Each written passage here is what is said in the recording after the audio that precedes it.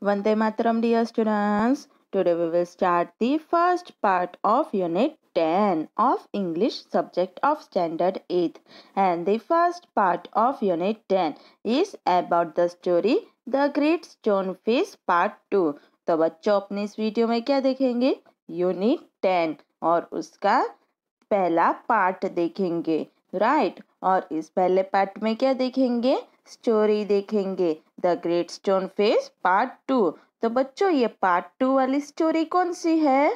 तो अपने unit nine में पढ़ा था ना the great stone face part one तो वो आधे से उस यूनिट को ख़त्म कर दिया था और अब यूनिट टेन में उसको कंटिन्यू करेंगे.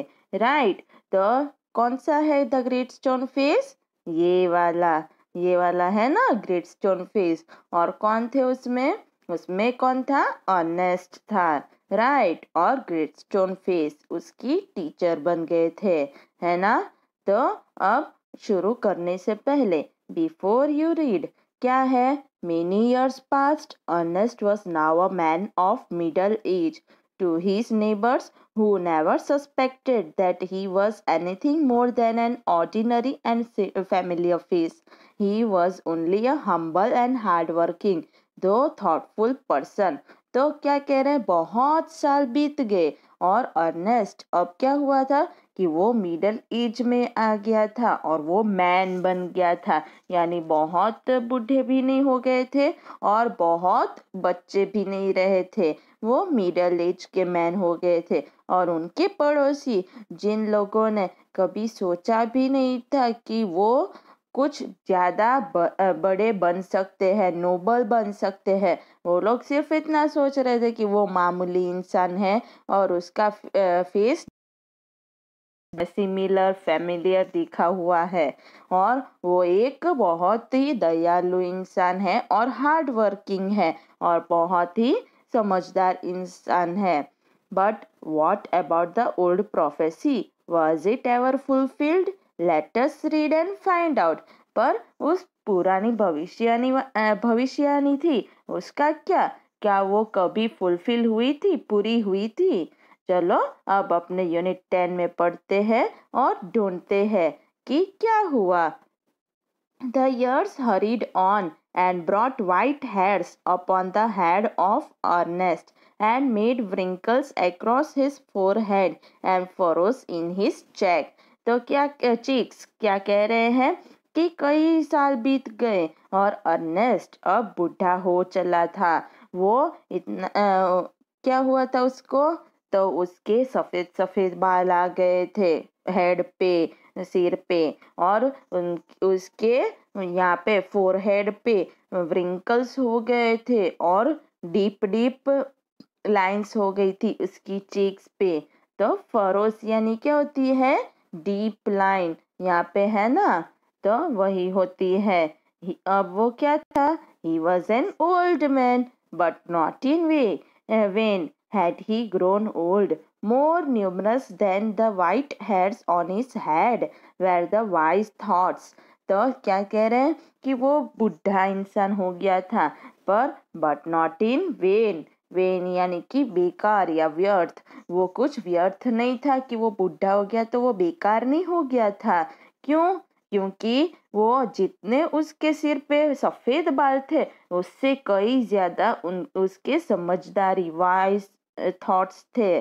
कहाँ पे? तो उसके दिमाग में in his mind and Ernest had cease to be obscure ceased यानी क्या होता है? बंद हो गया। और ऑब्सक्योर यानी नॉट वेल नोन यानी कि अप्रसिद्ध। तो टुक में क्या कह रहे हैं? ये दोनों ऑपोजिट ऑपोजिट है सीज्ड और ऑब्सक्योर ऑब्सक्योर तो क्या कह रहे हैं? कि वो अब कौन? तो अर्नेस्ट अब बहुत प्रसिद्ध हो गया था। Unsought for undesired had come the fame which so many seek तो अनसॉट यानी कि पाया नहीं। और अनडिसाइड यानी कि बिन मांगा। तो बिन मांगा उनको क्या मिल गया था? फेम मिल गया था, नाम मिल गया था, जो बहुत सारे इच्छते हैं कि मेरा नाम हो जाए। He had become famous beyond the limits of the valley और वो वैली से भी आगे यानी दूर दूर तक वो बहुत फ़ेमस हो गए थे। College professors and even the active men of cities came from far to see and converse with Ernest, and he received them with gentle sincerity and spoke freely with them of whatever came uppermost or lay deepest in his heart or their own. तो क्या हुआ कि college professor और यहाँ तक कि बहुत active इंसान जो थे सिटीज़ के शहरों के वो भी दूर दूर से उन से मिलने आते थे और कन्वर्स यानी कि बातचीत करने आते थे अर्नेस्ट के साथ। और अर्नेस्ट उनका सम्मान बहुत करते थे और आदर सम्मान के साथ वेलकम करते थे। और उनको जो भी पता होता था, जो भी आता था, वो उनसे बात करते थे, बोलते थे और वो मन से वो करते थे बात सारी। While they talked together his face would brighten, unawares, and shine upon them as with a mild evening light. तो जब भी वो बातें करते थे तो उनके चेहरे पे एक अनोखी चमक आ जाती थी, रोशनी आ जाती थी। और जैसे कि शाम को कैसी चमक आ जाती है लाइट आ जाती है, वैसी ही उनके चेहरे पे आ जाती थी। While Ernest had been growing old, God had granted a new poet to this earth. यानी कि जब अर्नेस्ट बुढ़े हो रहे थे तब भगवान ने इस धरती पर एक नए कवि को भेजा था He too was a native of the valley, but had spent the greater part of his life in distant cities, pouring out his sweet music everywhere. तो वो पोएट था वो भी उसी वैली का निवासी था, पर उसने ज़्यादातर अपनी लाइफ का हिस्सा बहुत दूर दूर सिटीज़ में गुजारी थी और सब जगह वो बहुत ही स्वीट स्वीट म्यूज़िक बेच रहे थे, यानी कि दे रहे थे सबको। Neither was the great stone face forgotten, for the poet had celebrated it in a poem और ना ही वो ग्रेट स्टोन फेस है। उसको वो पोएट भूले थे। उसने अपनी कविता में उसको बताया था सेलिब्रेट किया था और ऐसे डिस्क्राइब किया था। The songs of this poet found their way to Ernest और इस कवि के जो गाने थे वो अर्नेस्ट तक पहुँच ही गए थे किसी भी तरह। He read them after his customary toil, seated on the bench before his cottage door. As he read, he lifted his eyes to the mountain. The customary toil customary toil यानी क्या कहते हैं यूजुअल वर्क यानी कि वो इस गाने को कब पढ़ते थे हर रोज के जो उनके दर, आ, काम थे यूजुअल काम जो वो हर रोज करते थे। वो सारे काम खत्म करके फिर वो अपनी कोटेज के दरवाजे के पास एक बेंच रखी थी। उसके ऊपर बैठकर फिर वो पढ़ते और जैसे ही वो पढ़ते, वो अपनी आँखें उठाकर फिर वो माउंटेन की तरफ़ वापस देखते। O great stone face he said it's is not this man worthy to be your likeness फिर वो वापिस उस माउंटेन की तरफ़ देखकर बोलते कि, ओ ग्रेट स्टोन फ़िश क्या ये इंसान आपकी शक्ल जैसे दिखने के लायक नहीं है? The face seemed to be to smile but did not answer तो कौन से फेस की बात हो रही है? ग्रेट स्टोन फेस की। वो स्माइल देते थे, मुस्कुराते थे, पर कोई जवाब नहीं देते थे। Now It happened that the poet, though he lived so far away, had not only heard of Ernest but had thought much about his character and wished to meet this man whose wisdom walked hand in hand with the noble simplicity of his life. अब ऐसा कुछ हुआ कि वो poet जिसने ये सारे गाने लिखे थे वो भले ही इतनी दूर रहते थे पर उसने क्या हुआ? उसने ना ही तो अर्नेस्ट की सिर्फ़ समझदारी के बारे में सुना था पर उसके कैरेक्टर के बारे में और आ, सुना था कि वो कितने समझदार है कितने वाइज है और कितने अच्छे दयालु है महान है ऐसे सब सुना था। और वो इच्छा कर रहे थे कि मैं इस इंसान को यानी कि ऑनेस्ट को मिलूं और उनकी लाइफ की जो सिंप्लिसिटी है वो मैं देखूँ। One summer day Therefore, he arrived at Ernest's door, where he found the good old man holding a book in his hand, which he read, and then with a finger between the leaves looked lovingly at the great stone face. तो फिर एक summer की दोपहर को क्या हुआ कि वो अर्नेस्ट के यानी कि कौन पोयट अर्नेस्ट के दरवाजे पे पहुँच गए और उन्होंने देखा कि एक बहुत ही अच्छे बुढ़े इंसान हाथ में किताब लिए हुए और पढ़ रहे थे और उनकी जो उंगलियाँ थी वो पन्नों के बीच में बहुत ही अच्छी लग रही थी और वो ग्रेट स्टोन फेस के सामने देख रहे थे बैठे बैठे। Good evening said the poet can you give a travel traveller a night shelter फिर पोयट ने कहा कि गुड इवनिंग, क्या एक आप एक ट्रैवलर को एक रात की पन्हा दोगे?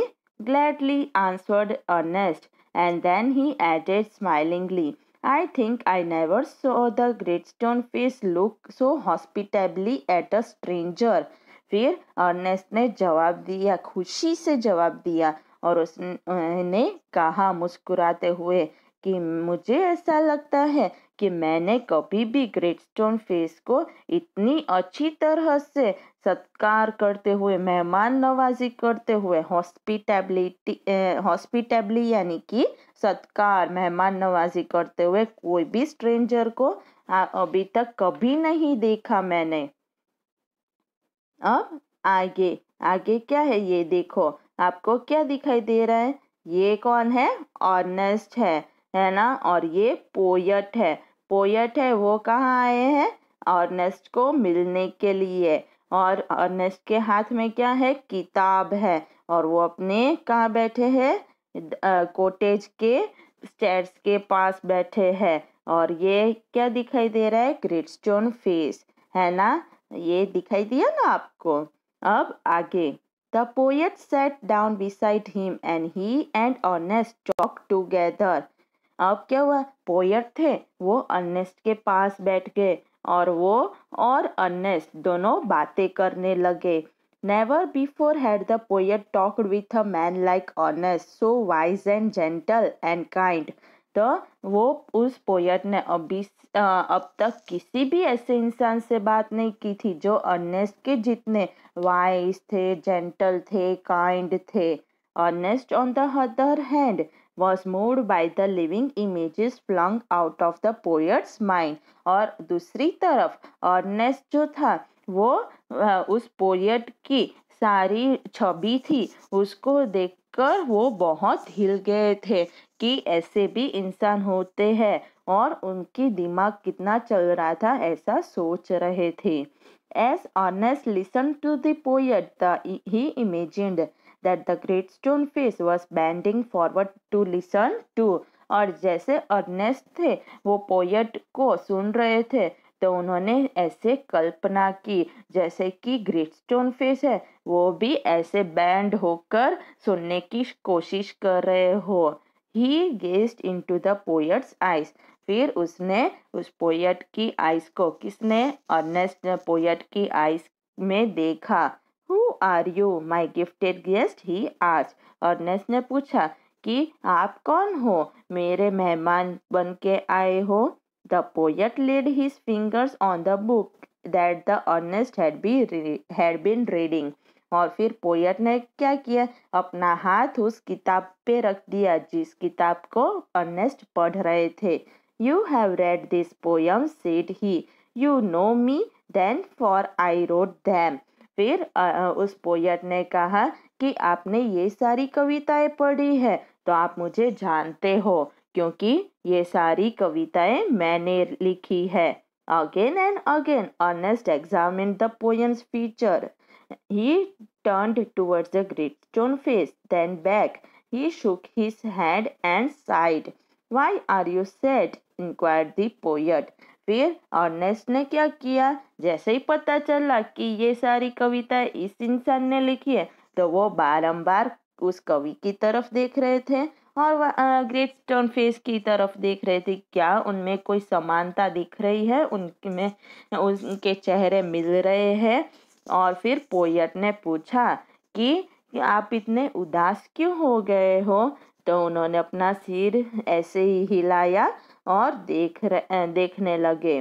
Because replied Ernest all through life I have awaited the fulfilment of a prophecy and when I read this poems I hope that it my be might be fulfilled in you फिर Ernest ने जवाब दिया क्योंकि पूरी life में मैं यही राह देखते रहा कि वो भविष्यवाणी पूरी हो। और जब मैं आपकी कविताएँ पढ़ता था तो मुझे ऐसा लगता था कि आप ही वो इंसान हो जो वो भविष्यवाणी पूरी कर सकते हो। यानी कि ग्रेट स्टोन फेस की तरह आपका चेहरा है।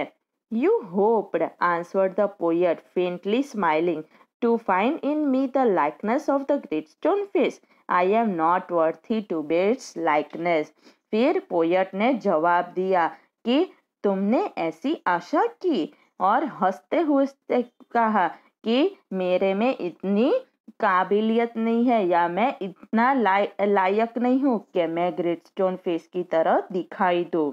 तो यहाँ तक की स्टोरी समझ में आ गई बच्चों। आप सबको क्या करना है? यहाँ तक आपको स्टोरी को पढ़ना है और न्यू एंड डिफ़िकल्ट वर्ड्स को एक्स्ट्रा रफ नोटबुक में लिखना है। आगे की स्टोरी अपने नेक्स्ट वीडियो में कंटिन्यू करेंगे। ओके वंदे मातरम।